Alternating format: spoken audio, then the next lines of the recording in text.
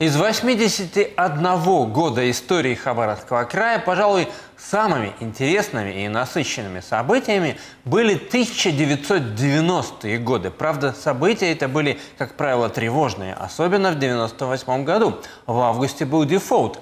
А 7 октября на вещевых рынках Хабаровского края состоялась Всекитайская акция протеста. Торговцы из КНР одновременно ровно в полдень прекратили торговлю, чтобы выразить свое недовольство ужесточением правил торговли.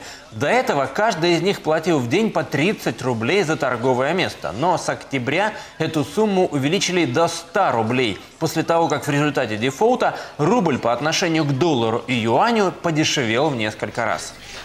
Люди сколько зарабатывают, уже немножко зарабатывают, сейчас кушать не хватает, народа походишь мало, покупай мало. Еще штрафов много. Каждый день платите милиция сюда, собирать деньги. А за что штраф-то собирают? Не знаю, дуре. Если без налога, штраф. Без э, сертификата, тоже налога.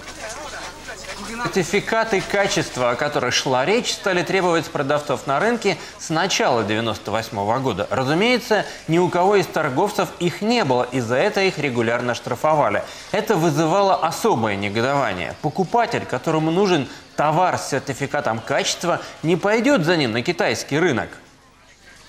Если у меня покупали, у меня все место есть, но у меня покупали, я если браком поминаю. Осенью 2000 года улицу Муравьева-Амурского замостили тротуарной плиткой. До этого тротуары главной улицы Краевого центра были покрыты асфальтом, который из-за плохой укладки и особенностей климата постоянно трескался и проваливался. Поэтому решили лицо города и края выложить камнями, как до революции, чтобы провалы и трещины были не так заметны. Это было частью общего плана реконструкции Муравьева-Амурского, во время которой привели в порядок фасады исторических исторических зданий, расширили проезжую часть и поменяли фонарные столбы. Кроме того, должны были заменить и тополя, из-за которых весь город покрывался пухом. Породы деревьев специально подбираются, управление зеленого строительства, и, скорее всего, это будут э, не тополя, ныне стоящие и уже устаревшие. Сколько себя помню, Хабарас всегда хотел избавиться от тополей, тополейного пуха, но не получается. Кстати, реконструкцию центра Хабаровска затеяли после того, как он стал столицей Дальневосточного федерального округа. Тогда же было принято решение выпустить банкноту с изображением дальневосточной столицы.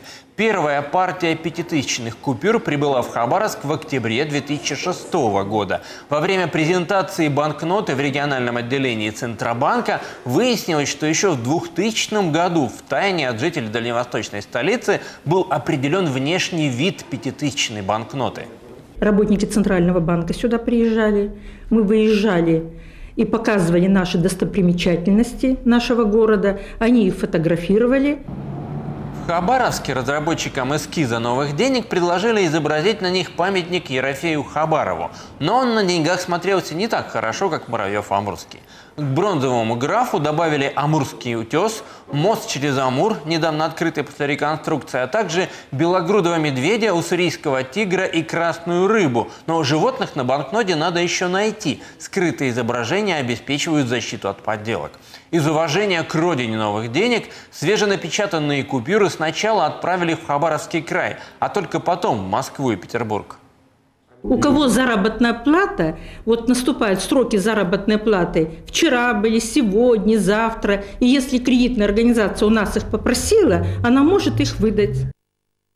Купюра с символами Хабаровского края остается и в обозримом будущем останется самой крупной банкнотой страны. И это лишний раз подтверждает, истинная столица Дальнего Востока по-прежнему здесь.